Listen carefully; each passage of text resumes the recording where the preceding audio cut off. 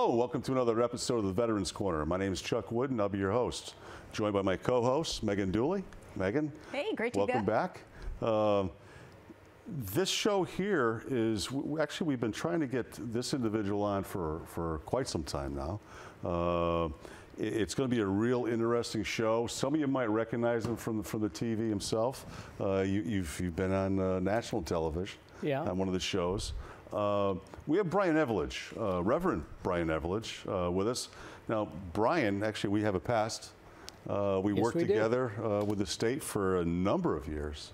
Uh, we haven't seen each other, it's got to be a good 16, 17 years. Probably that, yeah. It, it, it's, it's great to see you again. Well, thanks for having me out. You know, we, we, me and Donna have tried, we've talked about having you on, and it's just putting the pieces together uh, scheduling and all that? Well, as Reverend, I believe in divine timing, so this is when it was supposed to happen. It, it was meant to be. Uh, Brian's going to be talking, he, actually, he's, he's the founder and president of Forging Foundations Incorporated. And you're going to learn what all that is. First, I'd like to mention, we were talking about this earlier. This show, as I found out today, we've taped a uh, little over 250 episodes so far since 2013. That's wow. phenomenal. Awesome. Yeah, that's. Uh, I thought we were in the 200 range, but it's actually been 250. Time flies, yeah. doesn't it? Yeah. Well, well, I don't know about that, but uh, yeah, it does. It does. it does. I mean, that's it, it, It's 250 shows that we've gotten out to the viewers, the public, the veteran community. Um, if Donna didn't tell you what the show is about, it's, it's the mission statement here is to expo give exposure to any organization, foundation, group, anyone that provides a service to the veteran community. Uh, there's so many out there that, that do uh, provide for the veteran community, and our goal is to get their word out. Awesome. So, um, Brian, welcome. Welcome. It's an honor to have you here. You're, you're a Navy veteran. Yes, I am. I was a Navy corpsman from uh, 1982 to 1986 uh, with a specialty as an operating room surgical tech. I joined the Navy to see the world and got stationed a two hours drive from home. I grew up in New Jersey and ended up stationed in Connecticut, so uh, didn't have as dramatic of a service time as most. Yeah. Um, but there were, uh, you know, in the operating room, you certainly do have your stressors yeah. and your uh, wrangling with life and death. Yeah. So it was an intense time. Yeah.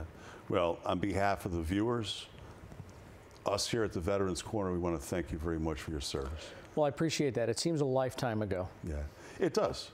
It does. Uh, actually, we overlapped by one year. I was 79 to 83 in the Navy. So it, it, it, does seem like a lifetime ago. It was a lifetime. It ago. was, yeah, yeah, absolutely. Uh, let's let's dive right, right into this, Brian. I, I it, there's so much in one thing I had mentioned to the viewers that you've been on, you, you've been on TV.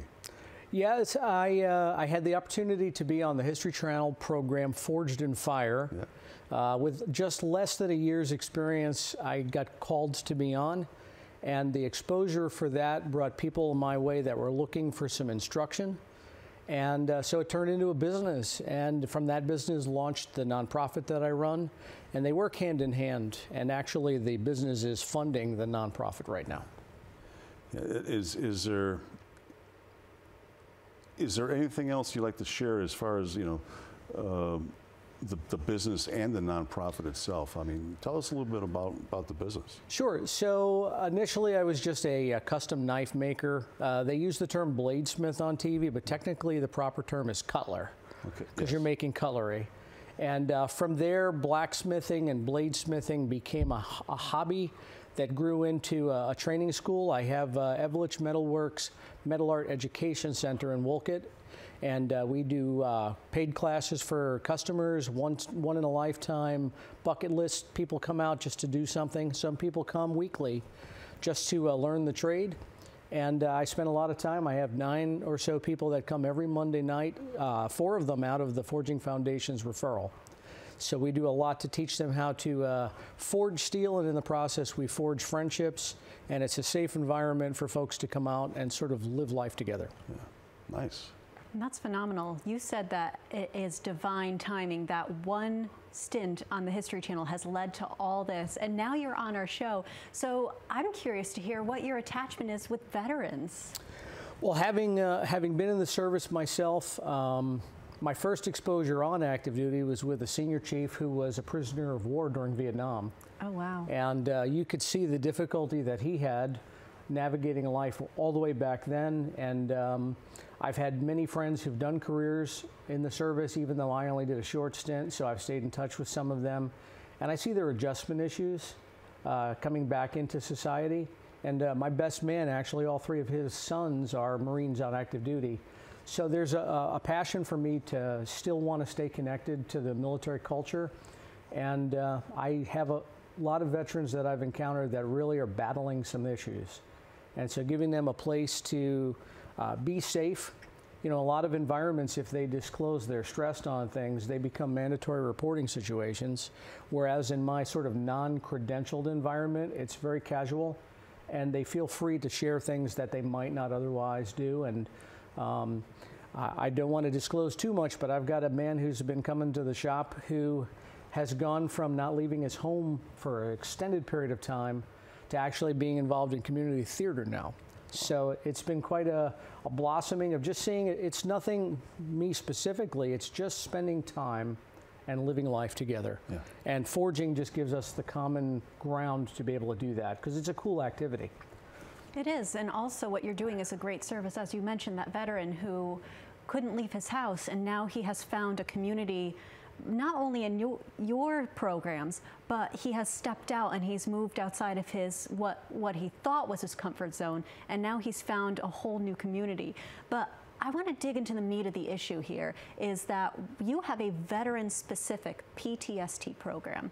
Can you talk a little bit more about that? Sure. Uh, so there is a lot of study, a lot of uh, surveys have been done showing that artistic activities create new neural pathways that allow people to kind of navigate around some uh, emotional and even mental blocks and some stressors.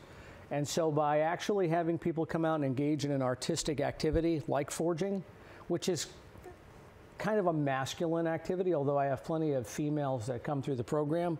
Uh, it, it's kind of a way for them to tap into a part of their brain chemistry that doesn't normally get utilized and so, as they're working on something that's creative, not only do they get to uh, experience something different, but also in the process, they're getting to see discarded things, damaged things, uh, things that have been rusted and written off, transformed into something new and usable, which has its own intrinsic message for somebody who's battling post traumatic stress issues, exactly. that there's a redemptive process in it for them, and they can be transformed into something new and useful. And uh, it caters to the minister side of me as well to be able to kind of convey that message. I'm curious, so was that a deliberate or was that a symbolism that you found after you started the blacksmith program? I, I normally teach using object lessons, so my brain's always looking for something that can convey a message. Uh, and in this case here, we kind of use old, really rotty, uh, rotten looking railroad spikes mm -hmm. as that initial class because they're bent, they're rusted, they're deformed and yet when they're finished, they're nice and straight. They've got a twisted handle and a nice sharp edge.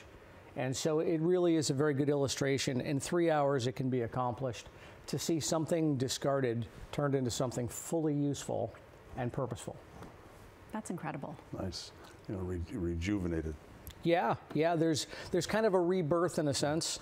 And for some of the folks that are coming out, they don't see a transition into uh, normal civilian life and they, they don't see a purpose and value. So, so kind of getting them to see beyond what they are and where they're at to where they could be is really the object lesson that comes out of that class. It's very hands-on and it's and it I guess stimulates the brain in a way that they could see themselves. And as you said, it's it is a rebirthing process. So what do you use the, the spikes for or what you forge afterwards? Well, if people want to get involved in more, we can do more elaborate projects. Historically, a railroad spike would have been used in the Old West to make a knife that at night the ranch hands and farm hands would use. They'd strike firewood with another piece of firewood on the backside of that railroad spike blade and split firewood and make kindling. So it was just kind of a way for them to stay warm and keep coffee going at night. But there's really, I think, a message even in that because even a simple mundane task has value. It provided warmth, it provided them with the ability to stay awake, uh, to, to ward off predators in the field. And so getting people to understand even simple little things like a, you know, a $1 spike being transformed. And the spike knife represents both a civilian culture and a military culture because edge weapons are utilized for combative purposes, but knives are tools. Yeah. They're necessary for cooking, they're necessary for camping, they're necessary sometimes to just tighten a flat-headed screw on a, on a light switch. So it's giving them an item that sort of captures their past and their future in the same item. And uh, I just think that's really cool. It resonates with a lot. Uh, about 80% are one and dones. They come to the program and that's it. But some of them come back and they want to learn more. And so then it becomes almost a uh, mentoring program for the skill set. But some weeks we don't even forge. I'll just get pizzas and we'll just talk about life. That's, that's really really thought provoking that they get to bring back something that represents so much to them. Yeah. And also, it leads opens the door to that community, going back to that veteran who has now been able to find another home in the theater. Yeah, and uh, some of them have sent me really uh, heart wrenching testimonies of the impact that it's had. So, to some people listening, it may just be making a knife. But to people who have been through that and have actually seen the rebirthing process in that, it does convey to them that there's hope.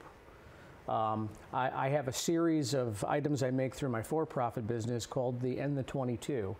Uh, as most of us know, 22 veterans uh, take their own lives in our country daily, and that average has been remotely unchanged for probably 40 years it's now. actually uh, under underreported. Yeah, it is, and uh, I think a lot of them don't even feel that our nation cares about them in their state. So uh, the End the 22 becomes uh, a funding mechanism. When I sell those, those actually help sponsor people to come through because nobody ever pays uh, if they're coming through as somebody with PTSD. And I've extended the scope to first responders. During COVID, I had healthcare providers coming in that were getting slaughtered with work hours and dealing with uh, the passing of lives. And so PTSD is not relegated just to the military. It started as a veteran specific program, but uh, we, we've even decided to extend to Bristol PD the offer for all of them to be able to come through the program four at a time and uh, be able to come out and hammer away some stress. I really appreciate that. And I'm sure the people who come to your program appreciate that too. I'm hoping they take advantage of it. You know, it, it's, I mean, listening to you, Brian, uh, we, that's what this show is all about. We've had so many guests that, that are, they set out to do the same thing that you're doing in different ways. And I'm so happy that we we, we were able to finally connect because this shows the viewers just another way of, of helping the veteran community and, and, and first responders. Yeah. I'd like the viewers to understand what they do may very well be a usable tool to accomplish the same thing I do. You know, I'm just using my trade, but there are other things. If you're being creative in your workplace, if you repair something, well, then that can be an object lesson to show that same message of hope to people that are battling post trauma. Yeah. And, and we're, we're talking about first responders. Vast majority of first responders are veterans. Yeah, yeah. The statistics are. I, I'm involved in a study right now, and uh, I think it's something in the neighborhood of mid 60 percentile. Yeah. Wow. So. And that number has remained relatively unchanged, you would I, say, through? I, I, don't know. I know when I worked in the department with Chuck, uh, I would say more than half of the people oh, that oh, yeah. worked around us were active duty at some point. Oh, it was probably close to 80 or 90 percent in that occupation. Um, I, I know most of the people we worked with were veterans. Yeah. And, uh, you know, as a state employee, there are other perks being a veteran. Uh, it gets added to state service time. So that's one of the attractions to bring people in yeah. uh, is they get credit sort of uh, added on to their state employment time, yeah. which is a nice op option for people. If I remember right, that was during wartime. Yeah. That's, I, I and it's not active theater of warfare. It's if you're on active duty during wartime. During, yeah. So I ended up getting an extra two years of state service credit because there was 23 months worth of active combat during my four years. I think I've got maybe six or seven or something like that. They did. They didn't count uh, Actually, when I was in Beirut, they didn't count that, believe it or not. Uh, and uh, You might want to revisit that. I think Yeah. it's been added. it's been added. I think it's been added, Uh, yeah. But I mean, retiring what, going on 17 years ago for me. Yeah, I'm out uh, 13. Yeah. But uh, what, uh, how, how is all this shown to be beneficial for the vets? I think we touched on that a little bit. L- A little bit. Uh, one of the things I generally appreciate is when they walk away having had a great experience, they refer it to other people. Word of mouth, just like you were saying, having people on to get it out there. Nobody really knows about this. And yet there's a network of perhaps 100 blacksmith and bladesmith shops around the country doing similar programming. And um, it's it's nice to finally have a vehicle because I can link folks to this in other parts of the country and they can use the messaging as sort of a dialogue for them to have in their own communities. Uh, there's a lot of folks doing this, and smithing is attractive uh, to the majority of military veterans because really, you know, there's a scripture verse that says you're supposed to turn your swords into plowshares. Uh, so transforming something old and previous into something new and usable is actually a biblical message that can also be conveyed. And I do have secular and uh, biblical based talking points depending on the interests of the person that's attending.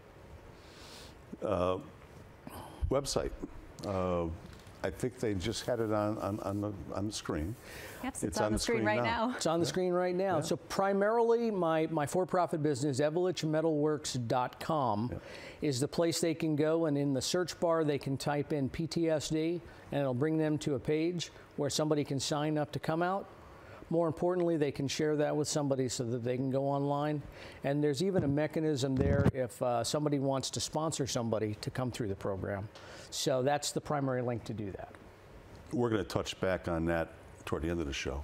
All right. Uh, just we like to mention that a few times to really get the word out, to really get the viewers' attention on, so they have that. Um, how many? Just out of curiosity, Brian, how many? How many participants do you? Is it? Does it vary? It, it does. Um, there are other class options. Uh, if people don't have the amount of time of three hours, uh, we can do something where we take half a horseshoe, which is a smaller item, but it can be done in about an hour 20. So uh, I can have 8 to 12 people for the smaller class, 4 to 8 people for the larger group, although most of the time it's most effective when it's one on one. One on one, one on two. Uh, I had a veterans group excuse me, come through. They brought four people out to sample it before they brought the word back. Uh, I have four workstations, four anvils, and four forges. So normally on a busy day, I'll put four people at each, but on a good day, one person at each is ideal. Yeah. I remember in, in, in the Boy Scouts. I mean, we're talking a lifetime. We're talking two lifetimes ago. Yeah. I actually made a knife out of a file. Do you still have it? I, I you know, I can't find it. It had the leather. It was from a belt, and then there was two pieces of brass on either end. Well, you need to make a new one then if you can't find it. And we know a place now. We do. That's we that- do. There, there you go. Uh, and you- what? Five minutes away from each other. Yeah, there's something visceral about knives. Yeah. Uh, we had a coworker in the agency who passed away after a motorcycle accident, I'm and sorry for he your had loss. he had two of my knives, and he had three sons. And so when he You passed, said agency, D- DOC. Yeah, DOC, yeah. And uh, his sons approached me to make a third one so that they all had one. Because there's something about passing down granddad and dads to the next generation. So that, that item that you can connect to a task in life and use in your hand really does have a visceral kind of connection. Yeah, it does, and, and that's key. That's key. A lot, a lot of times, there's so many different. If this doesn't work, this doesn't work. This right here might might might get them, uh, and bring them in. And, and I like what you said earlier about you know some days you just you don't do any work. You just sit there and bond. Right. And, and, and, and it, there's nothing better than bonding with those that have been through similar situations that you have, you've been through. I'm a firm believer that you can't share truth with someone until you build trust. Yes. And so, whether it's my ministry side or it's this PTSD program, trust building might take a long period of time, uh, especially if somebody's been through a significant trauma where you know they're very guarded. And so, just time. Uh, you know, sometimes quality time is a term, but sometimes quantity time is needed. Yeah. I'd like to go back a little bit from memory lane. When did you start this program again? Uh, 2018, I started doing what I'd heard other people were doing, but I created my own model. Um, my Forging Foundations nonprofit also works with at risk youth.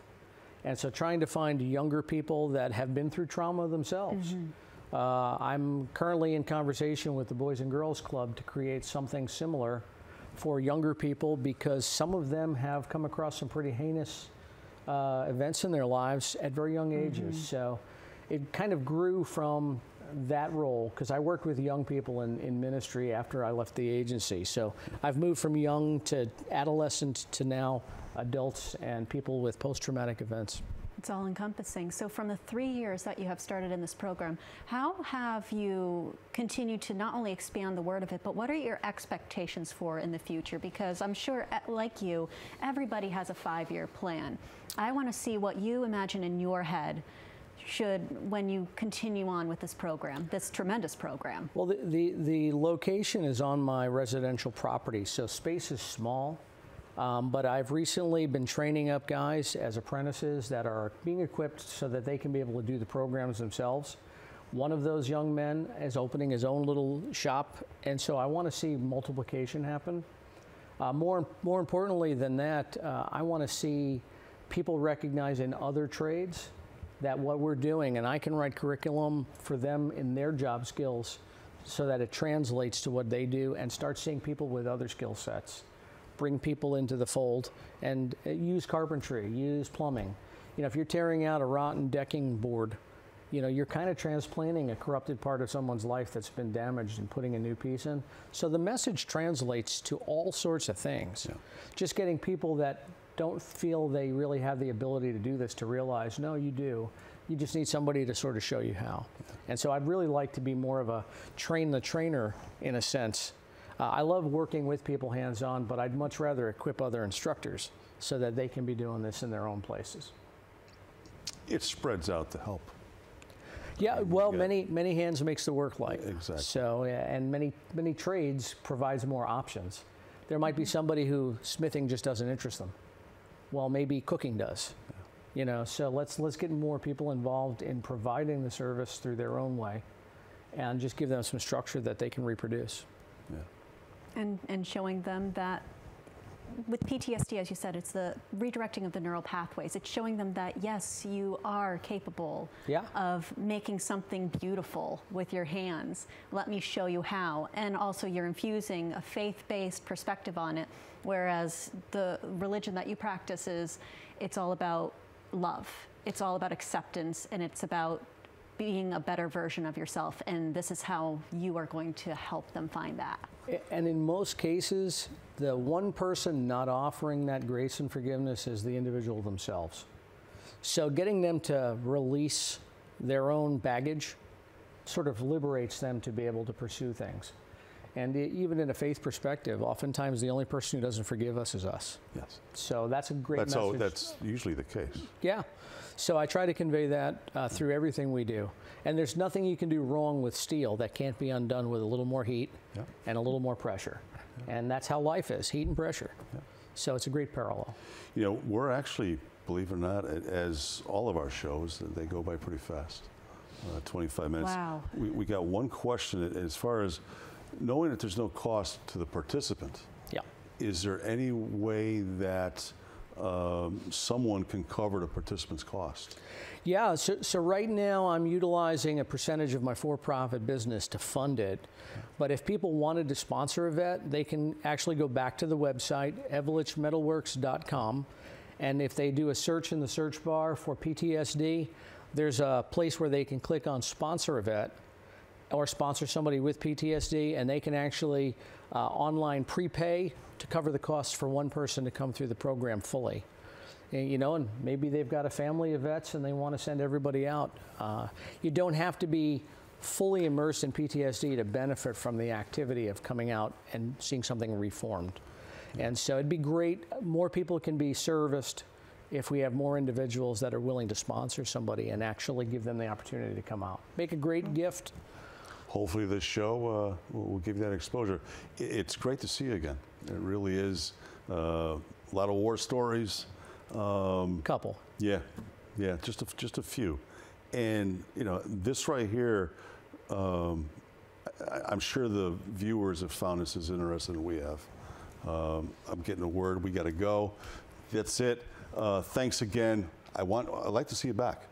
Give us an update of, of what's going on. Maybe we can do a two-parter next time. Sure, we're doing a Veterans Open House in the spring. Okay. Uh, we'll have you on, we'll about have you on before that. Uh, thanks again, Brian. Thanks to the viewers for watching. Uh, good night from the Veterans Corner. Good night. Good night.